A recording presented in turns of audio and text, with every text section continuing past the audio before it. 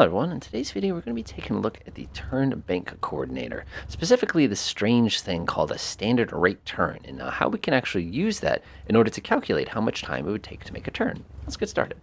So first things first, uh, we're sitting here at lo lovely, lovely Orange County Regional. Uh, this is basically in the middle of Massachusetts. This is a fun airport for me in the real world because uh, this is a place where I had diverted to during a check ride. So it's always kind of fun to come here and be like, hee hee, this is where I got a license. But um, one of the things we're going to take a look at today is this guy called the turn coordinate. I can't talk, it's been a long week. So if you take a look at this instrument, uh, not only is it going to tell us which direction the aircraft is turning, it's also got this little thing on the bottom that says two minutes. You're probably saying, well, what does that have to do with anything? Well, let's get this thing in the air and then we'll take a look.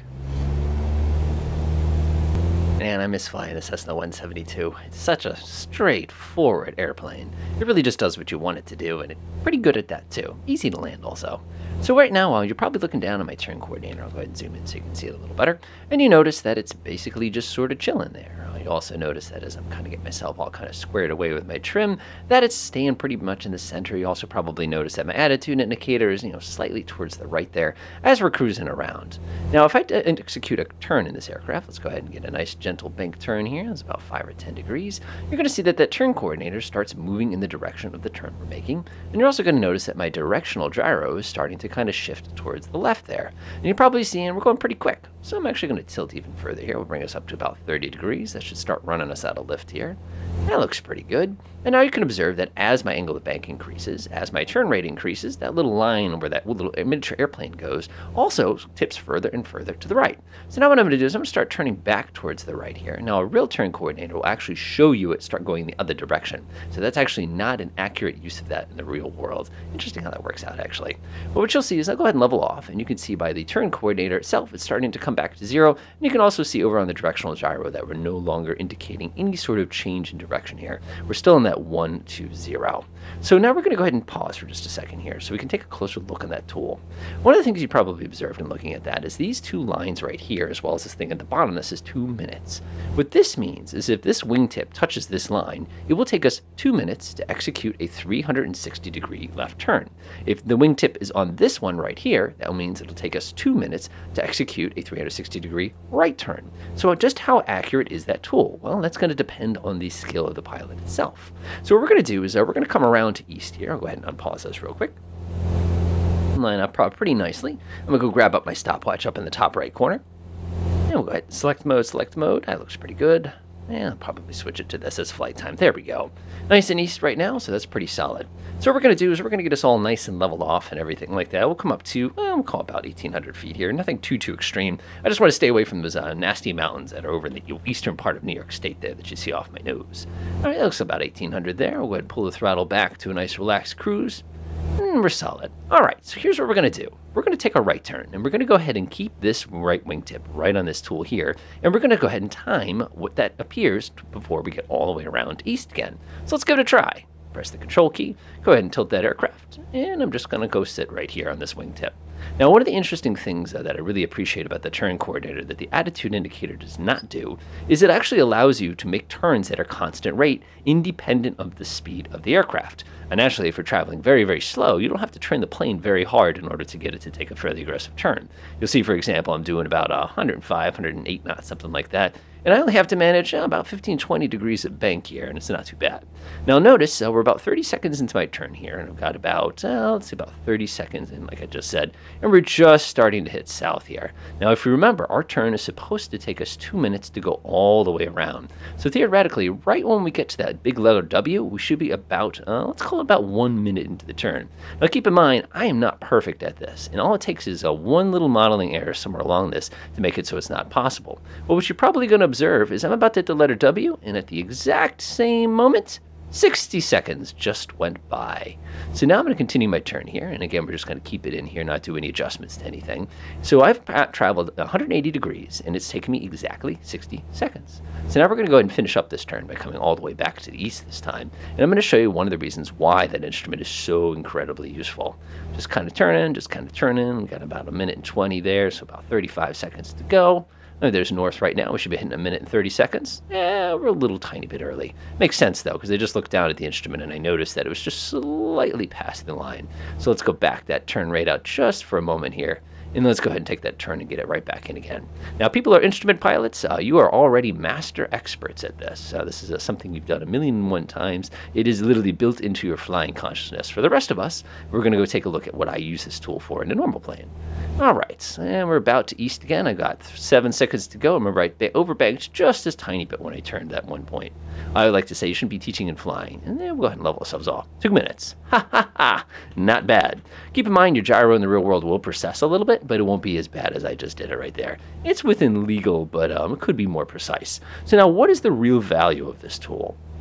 Well, for me, the big one is predicting when you need to turn from a particular point. Now, as you probably noticed, that turn indicator, like I said, would tell us that if we need 30 seconds at standard rate, that would mean that we complete a 90 degree turn.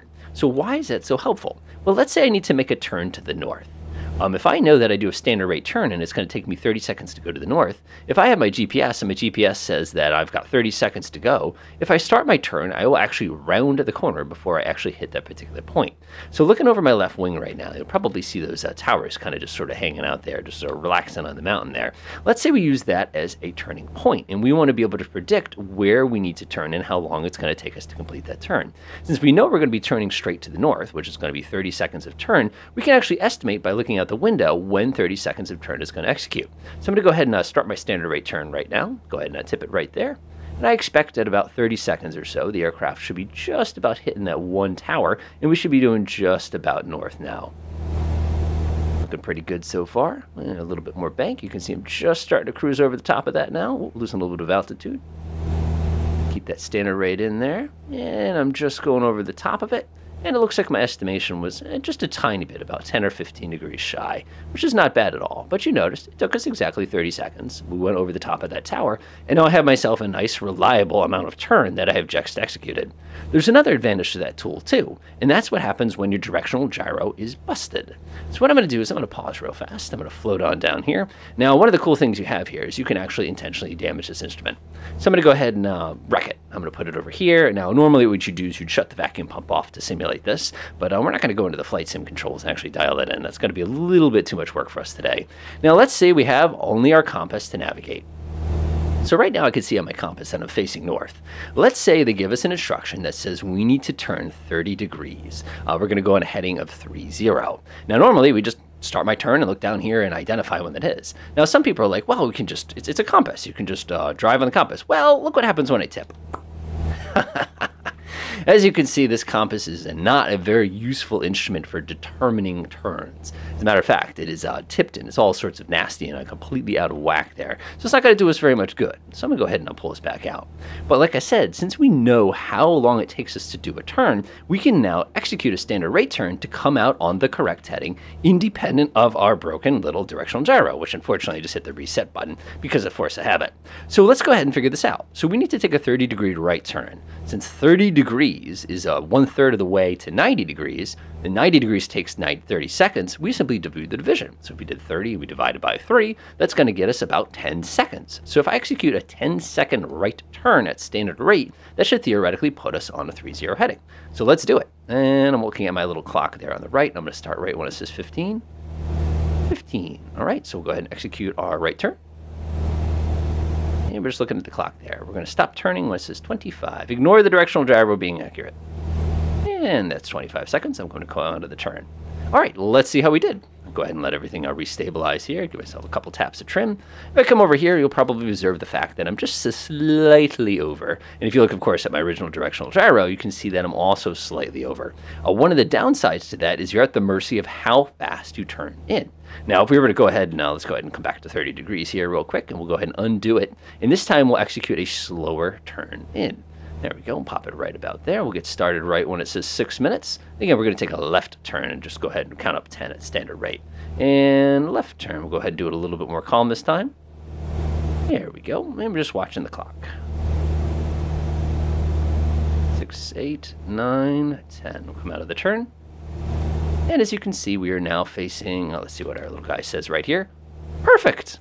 So you can see that in the event that I lost my directional gyro, I can still take reliable turns as long as I have that turn coordinator information. Enjoy.